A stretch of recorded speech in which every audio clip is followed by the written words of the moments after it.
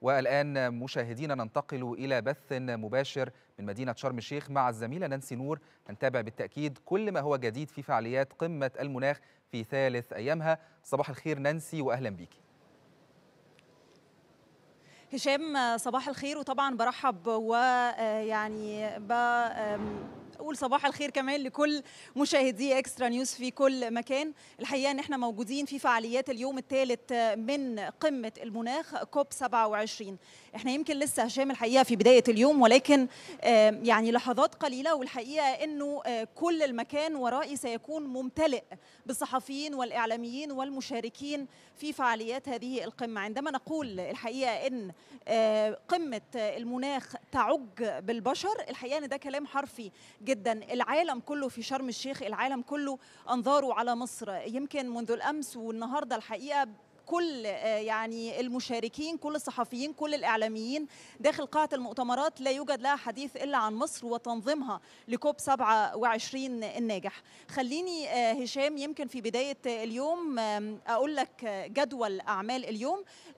يمكن يعني على مدار الفترة المقبلة سيكون هناك وصول للقادة والرؤساء والزعماء والمسؤولين لمقر انعقاد المؤتمر لبدء فعاليات اليوم الثالث من الساعة 9 تقريبا للساعة 11 سيكون في أحداث على هامش القمة ذو رفيع تمثيل رفيع المستوى. من الساعة 10 ونص للساعة 12 ونص هيكون في بيانات وطنية للرؤساء وقادة الدول. الحقيقة النهاردة كمان الكثير من الرؤساء والقادة سيدلون ببياناتهم الوطنية. بنتحدث عن ماكي سار رئيس السنغال السيد ألار كاريس رئيس إستونيا شارل ميشيل رئيس المجلس الأوروبي أرسولا فوندرلاين رئيسة المفوضية الأوروبية. الكثير الحقيقة من البيانات الوطنية المهمة اللي ستكون حاضرة النهاردة خلال هذه القمة. كمان النهاردة الحقيقة في ثلاث موائد مستديرة في غاية الأهمية. بنتكلم إن هذه الثلاث موائد ستكون تقريبا من الساعة 12 ظهرا إلى الساعة 2 من الساعة 2 وربع للساعة 3 أيضا سيكون هناك افتتاح لمركز العمل المناخي. بالنسبة للثلاث موائد المستديرة أول دائرة ستكون الاستثمار في الطاقة. سيكون فيها حديث عن الهيدروجين الأخضر. سيكون هناك يعني قيمة الهيدروجين الأخضر ستكون حاضرة على رأس النقاشات والمفاوضات كيفية نقل هذه التجربة إلى الدول النامية. بالنسبة للدائرة المستديرة الثانية هشام ستكون الحديث عن الأمن المائي والحقيقة هو حديث مهم للغاية. يمكن منذ الأمس كمان كان في حديث للقادة والرؤساء عن هذا الملف تحديدا ما يتعلق بالأمن المائي. في الدائرة المستديرة اللي هتشهد يعني هذا الحديث النهاردة سيكون هناك تشجيع لعملية نقل الخبرات من الدول المتقدمة إلى الدول اللي بتعاني من تهديد الأمن المائي. تشجيع في نقل الخبرات خبرات ونقل هذه الخبرات الناجحة إلى بقية الدول. فيما يتعلق بالمائدة المستديرة الثالثة من الساعة 12 إلى الساعة 2 سيكون هناك حديث عن تغير المناخ واستدامة الطاقة. سيكون هناك حديث عن دراسة وسائل تعزيز الاستجابة للنزوح القسري الواسع النطاق وتعزيز المرونة على مستوى المجتمع المحلي وتشجيع عملية التمويل. وطبعا هشام يمكن التمويل هو النقطة الأبرز والأهم في فعاليات يمكن كل أيام مؤتمر قمة المناخ كوب 27 لحظات قليلة الحقيقة هشام زي ما قلت لك في بداية هذه المداخلة والمكان سيكون مليء بالبشر. الكل قادم إلى مدينة شرم الشيخ لحضور هذه القمة.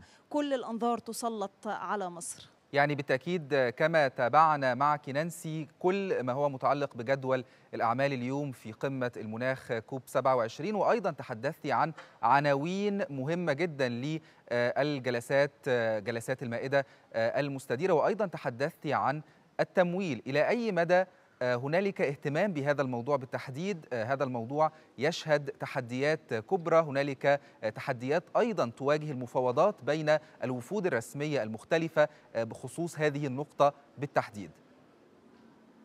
صحيح. الحقيقة هشام يعني فيما يتعلق بالتمويل تحديدا يمكن في جلاسكو العام الماضي كان الحديث عن تمويل 100 مليار سنويا من الدول المتقدمة للدول النامية. هذا الاتفاق لم يأخذ أي إجراءات على أرض الواقع حتى هذه اللحظة. ولكن الحقيقة ما تبعته إنه في مفاوضات أو في زي نقاشات بين الدول النامية والدول المتقدمة على فكرة عملية التمويل على آلية التمويل. الدول المتقدمة بتتحدث على إعطاء هذه الدفعة للدول النامية. أما الدول النامية بتتحدث على إنها تريد يعني ال مليار على سبيل إنها ليست قروض وليست منح ولكن كمساعدة لهذه الدول. والحقيقة كمان موضوع مهم جدا بنتكلم على فكرة الخسائر والأضرار. هل ال مليار دولار سيقومون بتغطية ما يتعلق بالخسائر والأضرار اللي بتنتج عن تغيرات المناخ؟ لأنه كان في حديث الحقيقة وتحديثا تحديدا بعد ما حدث في باكستان إنه أي منحة بيتم إعطائها للدول الناميه من الدول المتقدمة بتكون على فكرة إنه لتغير المناخ. كل أي منحة أي أموال بتعطى إلى هذه الدول بيكون الموضوع منصب على تغير المناخ. ولكن هل عندما يتم إعطاء هذا المبلغ للدول النامية هل إذا حدث خسائر وأضرار مرة أخرى سيكون هناك تمويل آخر أم لا؟ هي دي المشكلة هشام الحقيقة أو الخلاف الدائر بين الدول المتقدمة والدول النامية على عملية التمويل. ولكن فيما يتعلق بالرغبة الحقيقة في رغبة ويمكن استمعنا إلى كلمات الرؤساء والقادة امبارح. الكل كان بيتحدث عن رغبة في عملية التمويل والكل بيعمل على هذا الهدف.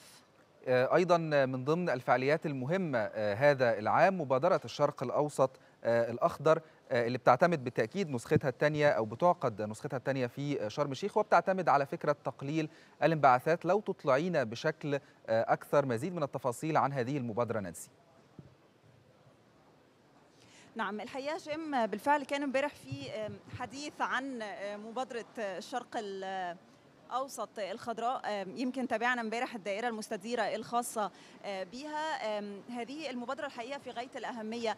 هشام يمكن كمان كان في حديث فيها للسيد الرئيس عبد الفتاح السيسي.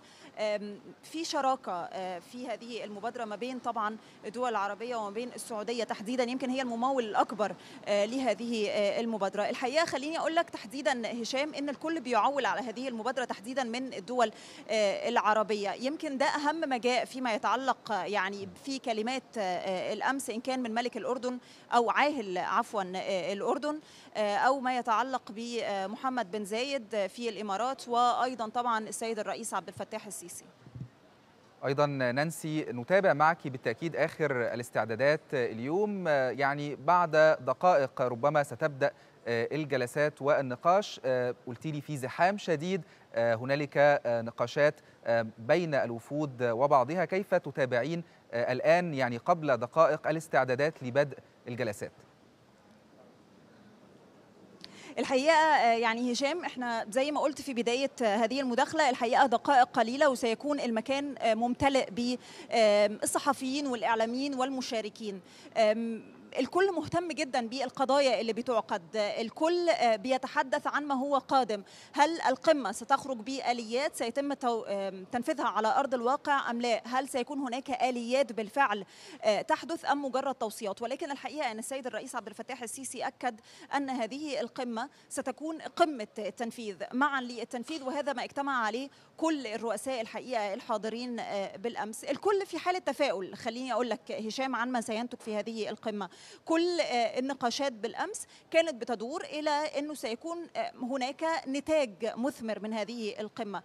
خاصة خليني أقول لك كمان هشام إن المجتمع العربي تحديدا والقارة الإفريقية بتعول على الدور المصري في هذه القمة. ليكون هناك استجابة من الدول المتقدمة برعاية مصرية هشام ل يعني تنفيذ ما يتعلق بهذه بعملية التمويل بالتأكيد نانسي هنالك تعويل كبير كما تفضلتي بدور هذه القمة في مدينة شرم الشيخ خاصة بعد التوترات التي حدثت في جلاسكو العام الماضي وأنها صحيح. يعني ليست كافية البنود التي خرجت بها هذه القمة وبالتالي التعويل كبير جدا على كوب 27 هنا في مدينة شرم الشيخ. شكرا جزيلا لك الزميلة نانسي نور تابعنا معك كافة الاستعدادات من مدينة شرم الشيخ.